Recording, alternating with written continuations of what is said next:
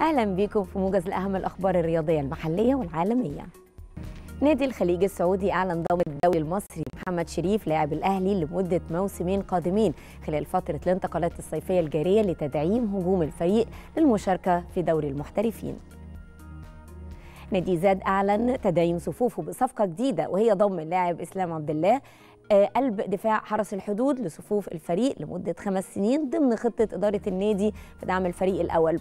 آه، بأفضل العناصر استعدادا لانطلاق الموسم الجديد بعد تأهل الفريق للمشاركة في الدوري المصري الممتاز. خالد بيبو مدير الكرة بالنادي الأهلي أعلن تمديد تعاقد محمد مجدي قفشة صانع ألعاب الفريق لمدة ثلاث مواسم بالإضافة للسنة المتبقية في عقده.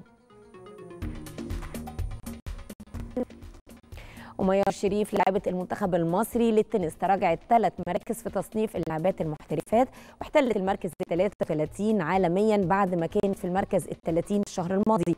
تراجع اللاعبة المصرية جه بعد خسارتها أمام المصنفة العاشرة عالميا وبطلة ويمبلدون فريق أستون فيلا الإنجليزي أعلن تعاقده بشكل رسمي مع الموهبة المصرية عمر خضر من فريق ZED FC.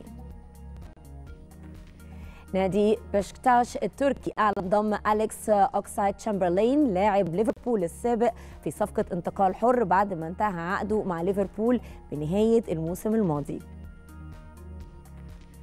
ونادي ريال مدريد اتفق مع تشيلسي على استعارة كيبا. حارس تشيلسي لمدة موسم واحد وده لغاية 30 يونيو 2024 بعد ما قضى خمس مواسم مع تشيلسي.